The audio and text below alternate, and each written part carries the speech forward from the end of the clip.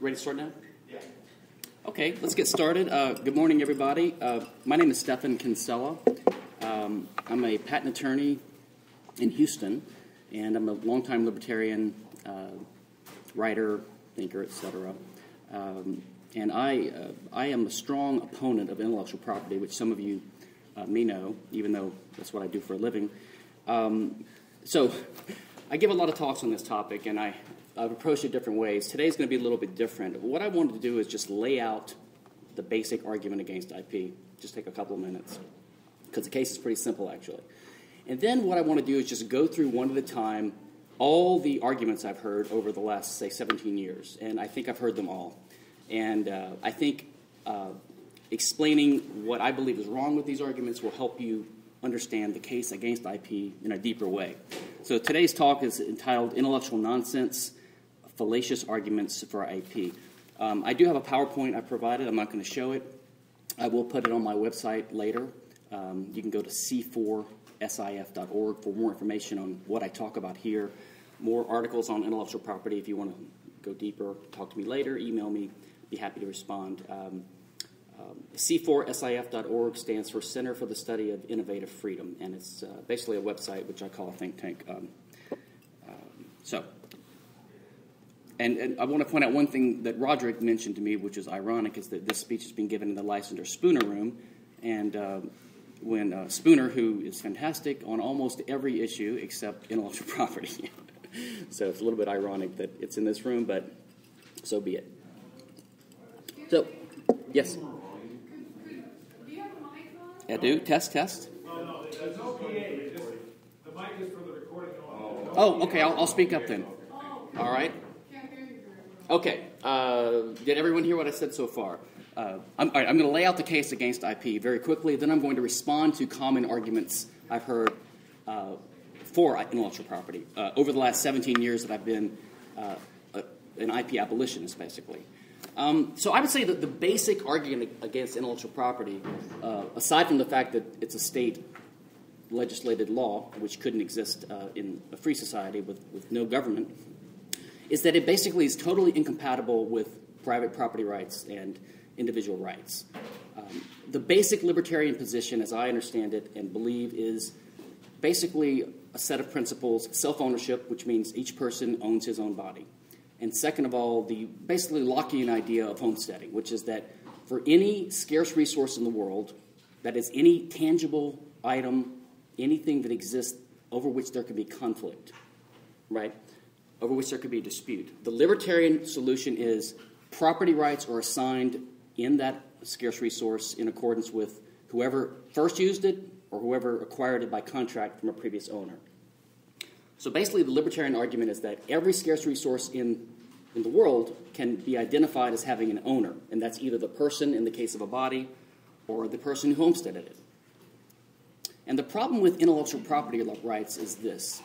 Um, it takes a while to understand this because there's several types of intellectual property. There are patents, copyrights, trademarks, trade secrets, boat hull designs, database rights, moral rights, semiconductor mask work protection, defamation law, if you count that, which I do, as a type of IP. And it's a highly specialized and arcane field of law, which only certain specialized lawyers really understand. So it's hard to get an understanding of what is really in common between these types of rights. Why are they called intellectual property, for example? Um, and I think the best way to think of it is, is what I've come to, uh, and let's focus on the two biggest and most uh, egregious types of IP patent and copyright. Uh, briefly, patents give an inventor a, a monopoly right in an invention. Copyrights give an author, let's say, of a book, a monopoly right in that pattern of information. Both of these rights, I believe, should be classified as what we call in the civil law a negative servitude, or in the common law an appurtenant easement. So basically, they give an owner or the holder of the IP right uh, uh, a veto right over how other people use their own scarce resources. Okay, so if if I have a patent on um, uh, sliding to unlock an iPhone, I can sue Samsung, use the government force to say you are not able to use your own property in a certain way. So it's a veto right. Now, there's nothing wrong with having these veto rights. This is commonly done in, say, uh, uh, restrictive covenants or a neighborhood association, you can think of it this way you own your home, your neighbor has a co ownership right in your home with you to the extent that he can veto your painting your house purple, let's say, if you have an agreement.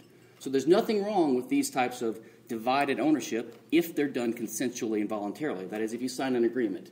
But in the case of patent and copyright, the owner of property who now is uh, subject to a veto right from another person uh, never did sign a contract. Uh, so the government just grants this negative servitude, which is a property right, to someone, uh, which gives them a property right in other people's property. And that's basically the problem with intellectual property. It's completely contrary to free markets, competition, private property rights, and the libertarian understanding of, of homesteading. Okay? Now, I find Mises's praxeology, his way of looking at human action, to be sort of the most helpful way to understand the role of property rights. The basic idea is that humans act, which means we employ scarce means in the world to try to change the course of events. To do this, we need knowledge as well. You have to understand laws of causal, uh, cause and effect. You have to understand what means will achieve the end you, you desire. So, successful action requires the exclusive control of scarce resources and it requires knowledge or information. Knowledge or information is not a scarce resource. So if you just take a simple example, someone um, um, wants to bake a cake. They need a recipe, that's knowledge. They also need ingredients and capital equipment a bowl, an oven, place to stand. Um, only one person can use that bowl and those ingredients at the, at the same time. That's why we have property rights in those scarce means, so that it can be used peacefully and productively. But the knowledge can be shared and used by a million people at once. You could have a million people in their own homes using the same recipe at the same moment. This is fundamentally why it makes no sense whatsoever for there to be property rights in information. And as I just mentioned, uh, the only way to assign property rights in information is really to give someone a partial ownership right in other people's already owned scarce resources. Okay, so that's the short argument against intellectual property.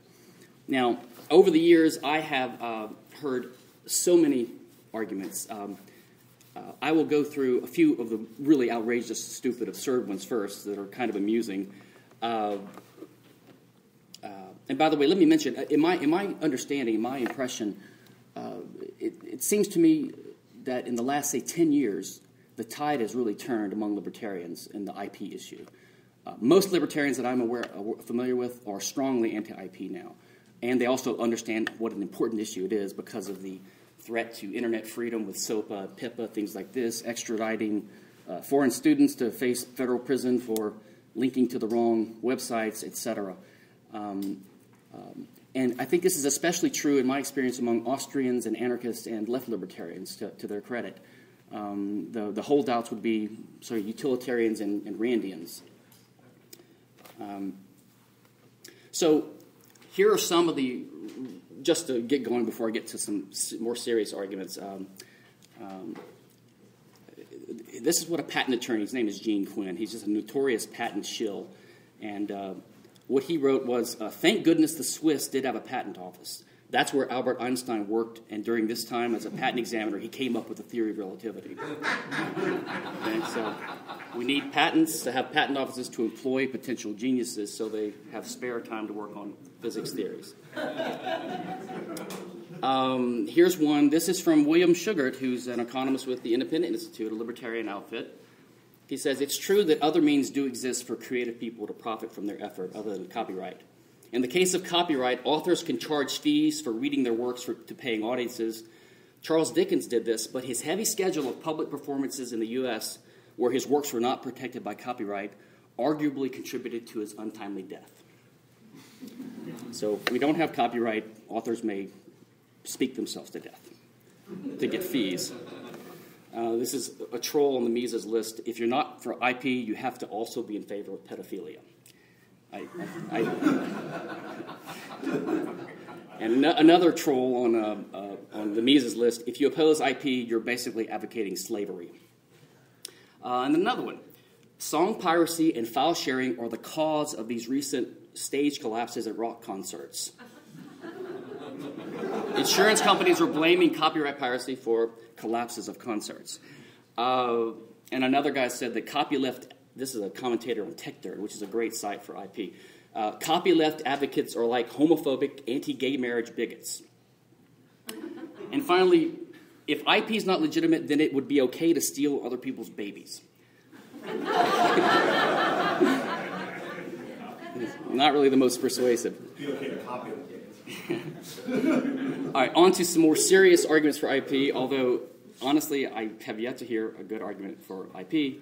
Uh, most of the arguments are either rights based or deontological or principled, we might say, um, but most are, most are utilitarian or empirical or welfare maximizationist. Uh, my, in my view, they're both flawed, and I'll go through some of those uh, today. Um, so the first one I'd like to approach is, um, I think, is the fundamental reason why people have been found it difficult to understand this issue and to get it straight in their own heads, and why the libertarian movement even was confused for decades on this topic. Uh, it's what I call uh, creationism, or libertarian proprietarian creationism.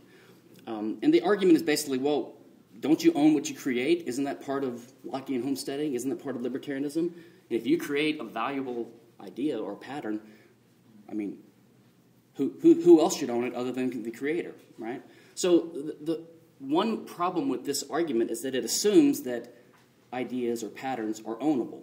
So if you assume that, you say, well, ideas are ownable, then, well, then the answer, well, of course, the creator should be the one who owns it. But, yeah, but the problem is this uh, is a confusion about the, uh, the proper role of homesteading in, in, um, in acquisition of property rights. In other words, it confuses the role of wealth creation with property acquisition. Okay? So people will say there are three ways of acquiring property. You can, you can create it, you can find it, or you can buy it from a previous owner by contract. But this is actually incorrect. There are only two ways. One is to acquire an unowned resource, which is by appropriation or homesteading. The other is to acquire it by contract uh, from someone else. That's it. Those are the only ways to acquire property rights. Now, it is true that creation or intellectual effort or labor is a way of increasing wealth, but wealth is just making something that you already own more valuable. Okay? So if you labor on some physical resource, like you, you shape metal into a sword, now, you don't own the sword because you shaped it into a sword. You owned it because you already had to own the raw materials that go into it, the factors of production. If you didn't own it, you wouldn't have had a right to manipulate it to turn it into a sword in the first place. So no ownership comes out of the act of creation in that sense, but you do increase the, the sum total of wealth in the world and for yourself because you make the, the object that you own more valuable to you, which is the same thing as saying we increase wealth. Okay? And I, th- I think one reason this mistake was made was some sort of uh, metaphorical, overly metaphorical sloppiness on Locke's part uh, where he talks about uh, when you mix your labor. Well, he says we own ourselves, so we, therefore we own our labor. Which right off there's his first mistake. We do not own our labor any more than we own our actions.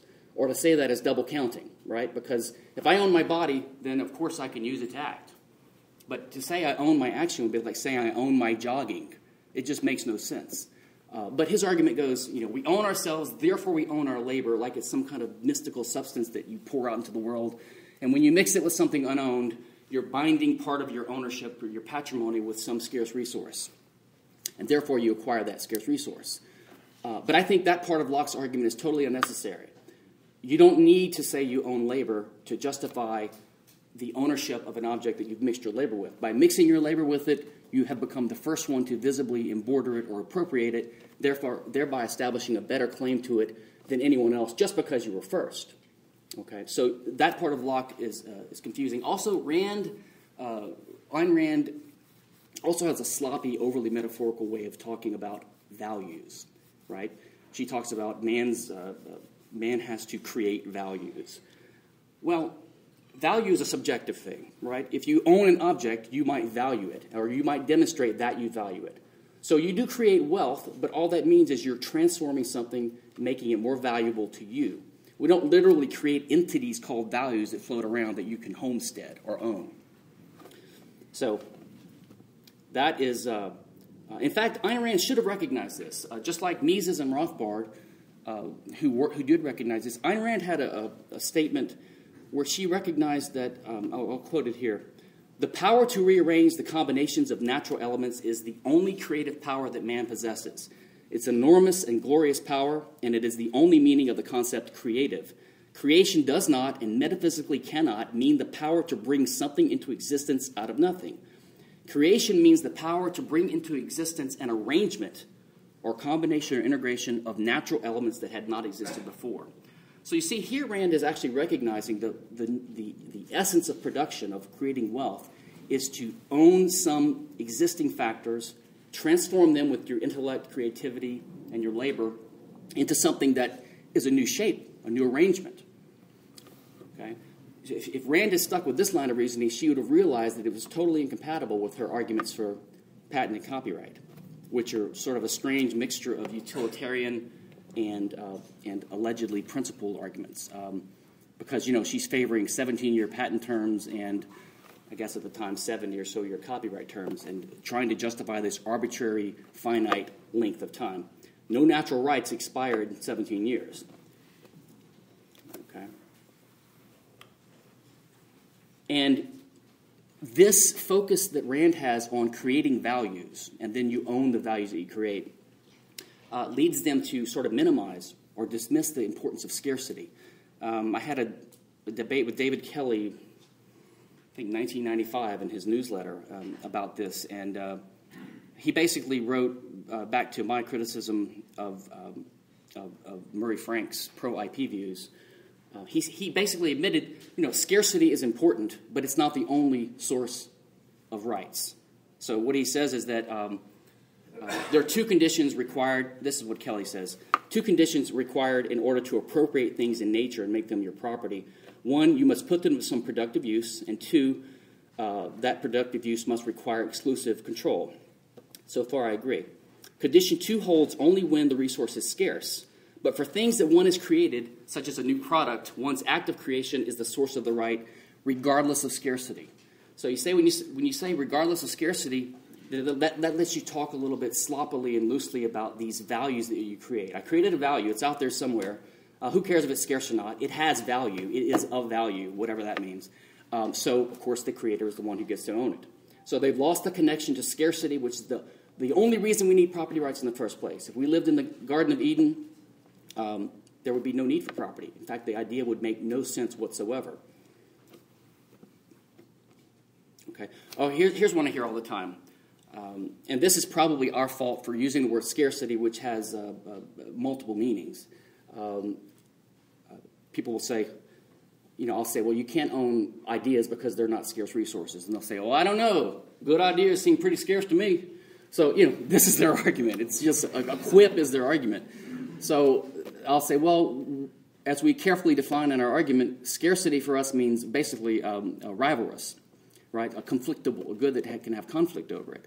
So if you change the argument to say, you know, ideas are not rivalrous, then they can't come back and say, I don't know, good ideas are pretty rivalrous. It, it makes no sense. Here's, here's another one. Um, this is more of a legal, sort of a legal positivist type argument, um, uh, which I've heard made by uh, Adam Mossoff, who's a pro IP objectivist law professor, and Richard Epstein, who is a uh, uh somewhat pro IP um, uh, kind of utilitarian uh, libertarian law professor. And their argument is that how do you classify property? Uh, sorry, how do you classify intellectual property or patent and copyright? And they have these arguments that as a lawyer or as a legal scholar, you know, we classify different types of rights. They have a, a long argument about why you can classify patent and copyright as property rights. Yes, you can. So what? Uh, people can be property too. It was called chattel slavery. So the fact that you can, a legal system can classify something as property is completely irrelevant to the case about whether it should be property or whether it's just. Uh, and furthermore, I think their argument is wrong. They should not be classified as property, as I think uh, Professor Bell has argued, um, uh, but as privileges. Um, and in fact, uh, as Professor Bell, who's here, uh, pointed out in a, in a, really clever blog post, um, there's the danger of treating patent and copyright as property rights is that some of the doctrines that rule this arcane body of law, which are purely statutory, and uh, uh, so, for example, there's fair use doctrine in copyright law. The reason we need the fair use doctrine is because copyright is so hideously unjust that we have to blunt its sharp edges so that people don't rebel against it. So, you know, you have all these exceptions to keep it from being too terribly harsh in some of its effects. Um, so the danger is that you would take these artificial um, exceptions or doctrines that apply to patent and copyright, and they would contaminate real property law. In fact, um, there is a, uh, um, a, scholar who analogizes property and land, let's say, to copyright, and argues that just like copyright has a fair use exception, there should be a fair trespass uh, exception, so that you know you, are entitled to use other people's property as long as it's a fair use, like in copyright.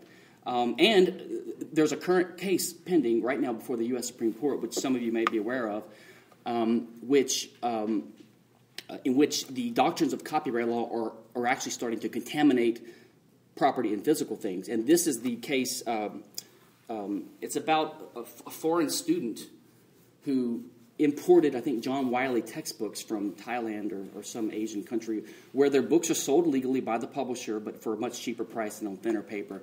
And he got his family members to send him the books to the U.S., and he just, you know, it's arbitrage. He just sold them for a discount here. Uh, he made a couple million dollars, and then he got sued for copyright infringement. Now, why? In copyright, there's something called the first sale doctrine. That is the idea that the, the, the person who holds the copyright, the publisher, only gets one bite of the apple. That they make their money their artificial monopoly price when they sell the, the book the first time. And after that, someone who owns the book, now they don't have the copyright in the book, so they can't make a copy of the book, but they can sell that book. Okay? Otherwise, the, the publisher could say, uh, I didn't give you permission to sell that book. You're giving my copyrighted work to a third party, and you can't do that. Well, the defense has always been a sale doctrine. Well, in this case, uh, uh, in, the, in, the, lower courts, the courts, the courts said that in this case, the problem is that the, the books were sold overseas or made overseas. And the first sale doctrine, if you read the, stat, the copyright statute closely, the first sale doctrine arguably is only triggered when the first sale is in the US. Now, what that means is that these books don't have the first sale doctrine. And what it means is that uh, they can't be resold here. Now, if the Supreme Court upholds this ruling, this affects not only books, but that would be bad enough. Millions of books that are resold on Amazon, um, uh, lent out by libraries. Uh, you're going to have to have two types of books now. You're going to have to have the ones that have a mystical, invisible tendril back to Europe, you know, and then you can't resell those or even lend them out, maybe. Um, um, uh, and it could affect a property like a, a, watch or a piece of furniture or a painting bought overseas. So, it, or how about an iPhone? Apple has this made in China, right? So ships, ships to me in the U.S., if they make the sale happen in China, which there's ways they do that contractually, then the first sale doctrine doesn't apply. I can't resell this iPhone. It would be violating Apple's copyright if I resell it. So, uh, uh, you know, you're, you're, basically, you see how this veto right I mentioned earlier kicks in. Basically, what's happening now is, is because of copyright, there's a very real, uh, strong potential, uh, a strong likelihood that um, the original copyright holder who already got their, uh, their their, their profit from you when you when you made the sale, when they made their first sale. They, they can veto your right to resell property that you own, physical, tangible property. So we see another danger of treating IP as property. Uh, we need to quarantine it to the legal privileges monopoly ghetto, um, if not eliminate it uh, altogether. Now, here's an argument I've, uh, I've heard many times, um, and I think it's very insidious, and it, it, it's important to figure this one out.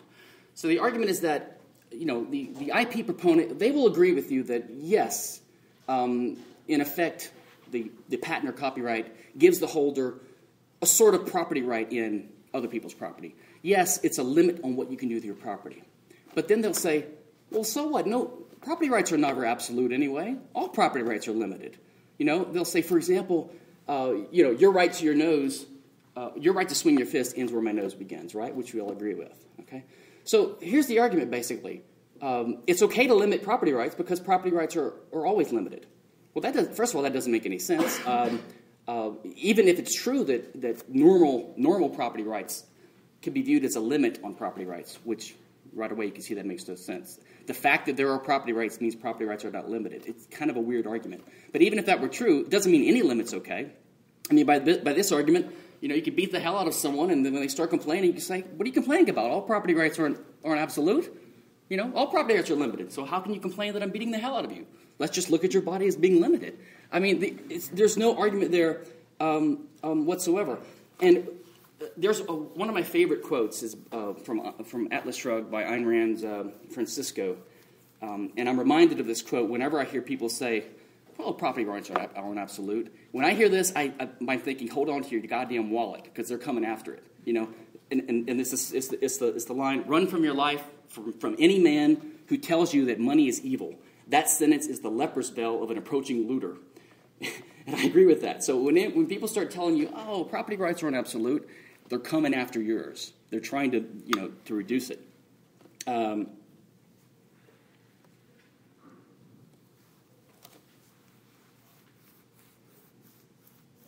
and here's the other problem with this argument. Um, I think it's actually not true that property rights are limited. Um, I don't know what it means for property rights to be, to be absolute. I don't, I don't know what, they're not absolute and they're not non absolute. They're just the right to use property exclusively. Um, but property rights are actually not limited by the obligation not to violate other people's rights. It's actions. Now, you think of it this way. Um, let's say I have a knife. Now, you have a right to not be aggressed against from me. You have a right for me not to stab you without your permission, at least. Um, now, is that a limitation on my property rights in the knife? No, it's a limitation on what actions I can perform. I cannot perform the action of aggression. And it's easy to see this. Imagine if I don't own the knife, I borrowed it from my brother. Now is it okay? I mean, no. So it's in other words, ownership of the scarce means that you employ to commit aggression is completely irrelevant. It doesn't matter whether you own something. Another way to see this is if you steal my knife and you use that knife to kill someone, does that mean I'm the murderer? After all, it's my property that was used, right? So really, there's no connection between ownership of means and the prohibition on aggression. The prohibition on aggression simply means you cannot perform this action. All actions have to employ scarce means, as, as Mises said. So it has nothing to do with whether the means are owned. So there's another mistake in that whole argument. That pro- so property rights are actually not limited by property rights. Property rights actions are limited because of property rights. Um, this is a little bit of a tangent, but um, I, I, was I was reminded of, of, this leper's bell thing and the uh, and the uh, property rights property rights aren't absolute argument with uh, kind of an amusing um, set of responses to um, back in the late 80s, 90, early 90s. Um, Hans Hermann Hoppe has a, a, a, anarchist treatise called A Theory of Socialism and Capitalism, uh, which got a lot of attention in libertarian circles in, um, in the late 80s. And Loren Lomasky, who is a Canadian uh, libertarian philosopher, um, who I had thought was an anarchist, but apparently he's not, uh, had a very critical book review of Hoppe's book. Um, and Hoppe's response, and I'm going to read Rothbard's response too. Um, Hoppe's quoting Lomasky. It is, Lomasky laments, no less than a manifesto for untrammeled anarchism. For untrammeled anarchism. And Hoppe says, so be it, but so what? And then Hoppe explains anarchism is just property system respecting property rights, etc., absolute self ownership, uh, the right to homestead, the right to contract. And then he, Hoppe concludes only someone advocating the trammeling of private property rights would take offense, as does Lomasky, with my attempt to justify a pure private property economy. Uh, this is not really on the IP topic, but it's, it's the same idea that if someone is uh, opposing untrammeled property rights, they must want to do some trammeling. Um, and here's what, here's what Rothbard wrote. In, this is in Liberty Magazine, 1990, about a year after uh, Hoppe's book came out. Lomasky uh, is shocked and stunned that Hoppe is not simply def- a defender of existing capitalism. His book is, quote, no less than a manifesto for untrammeled anarchism. Well, heavens to Betsy, anarchism. One wonders where Lomasky's been for the last 20 years. Perhaps the knowledge has not yet penetrated to the fastnesses of Minnesota, but anarchism has been a vibrant part of the libertarian dialogue for a long time, as most readers of Liberty well know. Um, okay, let's, let's, uh, let's talk about another argument for, for IP. Uh, how much time do I have? 15 minutes? 15? Okay. By the way, I've got 66 slides and I want 17, so I'm not going to finish. There's a lot of bad arguments. Uh, however, I will put this, uh, this uh, PowerPoint on my website later, and I'm going to add some more links, so there'll be tons of links uh, if anyone wants to, to look this over. Um, so there's an argument that uh, so most advocates of copyright, let's say, let's stick with copyright for now, they recognize that copyright uh, can have a chilling effect, to put it mildly, on freedom of speech, freedom of press, and in fact, uh, so they admit this. Okay, uh, their argument is we need to have a balance. Right, so this is the typical uh, utilitarian, squishy, unprincipled balancing bullshit. Um, now, the, the, roots of copyright lie in censorship. Uh, the Stationers Company in 1557 uh, was uh, given like uh, the monopoly over what books could be printed, uh, and it was to suppress you know, the wrong kinds of books being published that uh, the, the church or the state didn't want published. That evolved into the Statute of Anne in 1710, which is sort of the genesis of the modern copyright system. Um, so the, the origins of copyright are in censorship, and it leads to censorship today, uh, literally. It has literally, in our lifetimes, uh, led to people being put in jail for publishing the wrong books, uh, books being seized and burned, um, movies being seized and burned by the state, literally. Um, now, I had quoted William Shughart a while ago from the Independent Institute. Here's another quote of his. He's pro IP. And he says To paraphrase the late economist Joan Robinson, patents and copyrights slow down the diffusion of new ideas for a reason to ensure there will be more new ideas to diffuse. Well, thanks for being honest, you know. Uh, um, so there are ideas that we need to have a balance, and this is what the courts do. So we need innovation and creativity, which we have to have copyright and patent to induce, but it's got a chilling effect on free speech. Now, actually, I've got an argument um, that I believe that there's a good argument that copyright law is unconstitutional because even though it's in, even though the Constitution, when ratified in 1789, has a copyright and patent clause. Um, well, first of all, the clause arguably has a, a, a limit which says that to, to promote the progress of science and the arts, Congress can pass these limited monopolies. Um, uh, and, and, and, there's been, as I'll get to in a few minutes, there had been no statistical proof whatsoever in the last 230 years um, that, that art and creation is promoted. So, arguably, the law is unconstitutional by its own clause. But even if we forget that, um, if you remember, 1789, the Constitution was ratified. It's got the copyright clause in there. So, arguably, Congress has the authority to pass copyright law, which they did a year later. 1791, the Bill of Rights is added to the Constitution. The Bill of Rights has the First Amendment, which prohibits the federal government from infringing on freedom of speech, freedom of press. Now, the courts acknowledge, proponents of IP acknowledge that copyright law infringes freedom of speech. So, the reason they try to balance it is they treat the First Amendment and the copyright clause as on a par with each other. They're kind of conflicting provisions in the, in the Constitution, but we have to balance them because they're both in there. However, one was passed two years later. And the way it works is the later statute or the later amendment takes precedence, which is why uh, we can have a drink right now. Right? Prohibition was ended because the constitutional amendment that undid prohibition came after the one that caused prohibition. The, the most recent one counts. So two years later, the copyright, the First Amendment was enacted, and in my, in my opinion, they're completely incompatible. There is no way to have a copyright statute that doesn't significantly infringe on freedom of speech. So I think it's clearly unconstitutional. Um, and I also believe that the, uh, the, the, statutory damages and the insane penalties people have to pay, which has no bearing whatsoever to the actual so called damage of piracy, let's say, is a, probably a violation of the Eighth Amendment's ban on excessive, uh, excessive fines. I mean, it's basically completely uh, outrageous, and, and um, uh, it's a penalty. And I think the Eighth Amendment also is a reason why uh, copyright should, should fall. Okay. Um, as for this balance, there's a good quote by Cory Doctorow, who's kind of anti IP. Um, he's for openness anyway. Um, and he's talking about how, you know, there's these fights right now between the, the movie industry um, and uh, Google and YouTube and things like this, and they basically want you know, YouTube severely limited, shut down. They want to ratchet up this DMCA takedown system we have. And uh, what Cory says is, uh, you know, he's saying the big studios are saying you must shut down the system, the, the internet and, the, and YouTube, that delivers billions of hours of enjoyment to hundreds of millions of people so that we can go on delivering about 20 hours worth of big budget films every summer.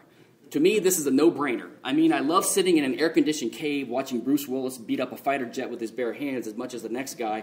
But if, you have, if I have to choose between that and all of YouTube, well, sorry, Bruce. um, and, and, speaking of balance, uh, there's another balance that the courts engage in with respect to patent and copyright, and that is uh, antitrust law, which is another unconstitutional, unconstitutional law, in my opinion. However, so we have the, gov- the federal government passing laws against monopolies, which aren't real monopolies, but they're private so called monopolies, and granting monopolies. So, guess what the courts say? Well, there's a tension between. so, what? So they have to adopt. They have to come up with this doctrine of like, IP abuse. You know. So, yeah, giving you a monopoly, but you can't abuse it. Don't use it too much. Um, and as a, a, law school professor who's pro IP, Beth Noveck, she was quoted in an article about how to improve the patent system, and she says, A patent is a pretty significant monopoly, so we want to make sure we're giving it to the right people. yeah, I mean, I trust the government to give monopolies to the right people. I mean, um, and speaking of this, you will have IP advocates get indignant when you call it a monopoly. Um, I mean, they just stamp their feet and say, no, it's just a property right. Or, or they'll say, well, you're right and your body's a monopoly. I mean, so, um, but, but the, the, problem is clearly they're monopolies. And uh, Richard Epstein, who's a pro IP, says patented goods are subject to a lawful monopoly created by the state to induce their creation. The Supreme Court refers to patentee having a monopoly. Arnold Plant um, talks about uh, patents being monopoly grants. I mean, this is common language. William Shughart from Independent Granting a temporary monopoly to the rare breakthrough is necessary to provide the inventor with an opportunity to earn a return on the investment that led to the idea, blah, blah, blah. Okay, so let's not get indignant. Um, and here's, here's something interesting I came across a couple of years ago. Thomas Jefferson, um, um, in 1789, wrote a letter to James Madison, who was at that time drafting the Bill of Rights. Now, you remember 1789, the Constitution had been enacted or was about to be enacted, and there was a copyright clause in there granting Congress the authority but the Bill of Rights was being contemplated. And so um, Jeff- Jefferson suggested this article be put into the Bill of Rights. Never was. I don't know why. Um, article 9 monopolies, again, recognizing them for what they are. Remember, we used to have a Department of War. Now we call it Department of Defense. The, the statists were more honest in the old days. Um, monopolies may be allowed to persons for their own productions in literature and their own inventions in the arts for a term not exceeding blank years but for no longer term and no other purpose. In other words, he wanted to, he wanted to put in the Bill of Rights a cap on how long these can be. Probably would have been 14 or 28 years, which was common at the time, uh, which means Mickey Mouse would be uh, public domain by now. Copyrights wouldn't last for about 150 years as they do now. Um, um, and if, uh, some of you may remember, uh, the, the story I've heard is that when the income tax amendment was being put into the Constitution to authorize uh, the income tax system that we have now, uh, there was a suggestion to put in there a cap of 10%, like income tax could not be. But the congressmen were afraid to do that because they thought that as soon as they did that, Congress would right away raise the income tax to 10%. They didn't want to give them any ideas. They were thinking it to be 1%, 2%. Uh, so, but if only they had done that, right? I mean, um, and finally, the coup de grace to the stupid argument that IP is not a monopoly. Um, you know, the, the, first modern statute that all patent systems come from was in England, 1623, the statute of monopolies. Um, it makes me want to say, you know, make fly. um, uh, here's another. Well, liberty is good, but it's not, you know, I hear this from, from non-libertarians, not, not only on the IP issue, but you'll hear this. They'll say, well, I believe I favor liberty like you do, but it's not our only value. This is what conservatives say all the time, right? It's just one of many values. Again, the leper bell comment. When you hear someone saying, oh, I believe in liberty, but it's not my only value, hold on to your wallet because they're coming for it. Um, so what they say is, we, oh yeah, I, this is what David Kelley's argument is basically. He admitted that scarcity is one criteria for one type of property, but it's not the only type of property. So it's it's just like positive rights in the welfare state, right? I mean, you know, liberals say, oh, no, I believe in sanctity of property, but I also believe in the right to health care.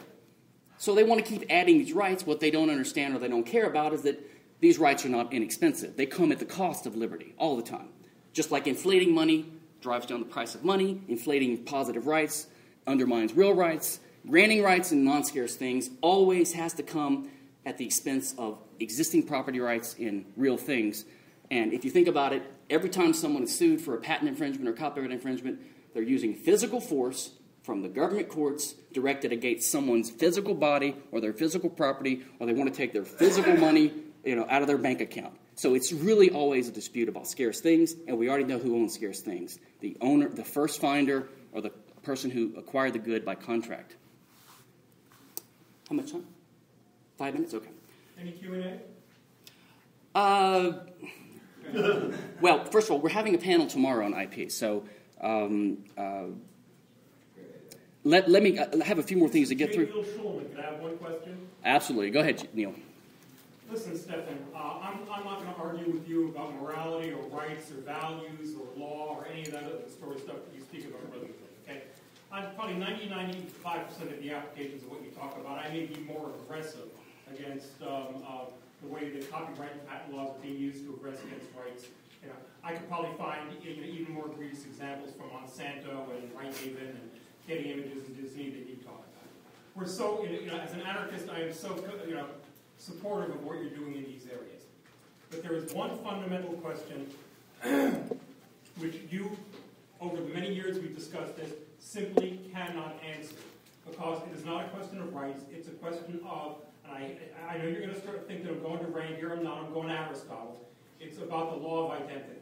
And it's a question which I've raised in various different forms, but I'll just state once again like this. I have here a book.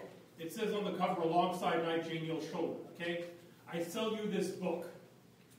And when you open it up and get to chapter one, it says, It was the best of times, it was the worst of times. My question is, did you get what you paid for? Now, if you say yes, and you're saying that the pattern of words in the book is irrelevant, it is only the reductionist physical materials that are on here that have any market utility.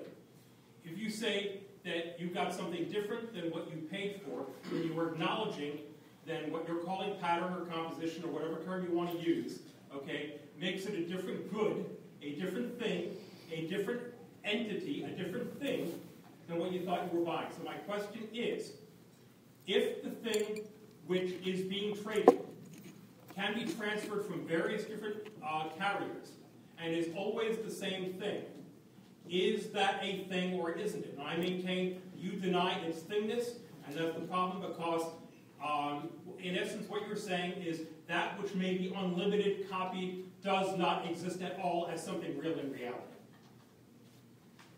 Well, I think your argument is um, a variant of uh, what Can I've you heard. restate his argument? I didn't understand. His, ar- his argument is, is that uh, And, that, and that's the problem. I've been trying to.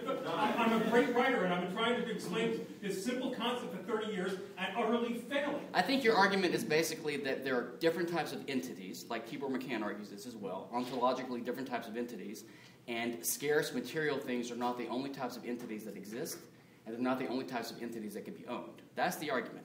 Uh, which I, I, I- I eliminate the word scarce. I'm not even asking about whether it's scarce or not. I'm simply Yeah, right. asking, is there a thing which exists apart from the materials on which it is found? I, I, I have no problem with conceptually identifying things, if you want to call them things. Like there is a poem, okay, we can conceptually identify that. The problem is granting a right in it means you are using physical force, and it's always directed against some physical thing. And what that means is to give a right to information or to these things that are not scarce always, always ends up undermining property rights in already owned things. So in the, you, I, you may not have been here in the beginning. I talked about the right way to classify patent and copyright, and, on, and probably your logo rights idea, is a negative servitude. Basically, it's a contractual co-ownership right. Some other party has a veto right over how you use your property. The problem is, no matter how you spend it, if you're going to grant rights in these immaterial things, you're going to end up giving someone a veto right over how they use their own property, I'm which is saying that as already a- owned. I'm saying that as a secondary argument to be had at another time. But first, you have to uh, you establish whether or not there is an independently existing thing. I, we'll have to disagree on that. I think the time's up, so thank you very much. I'll be happy to talk about this later.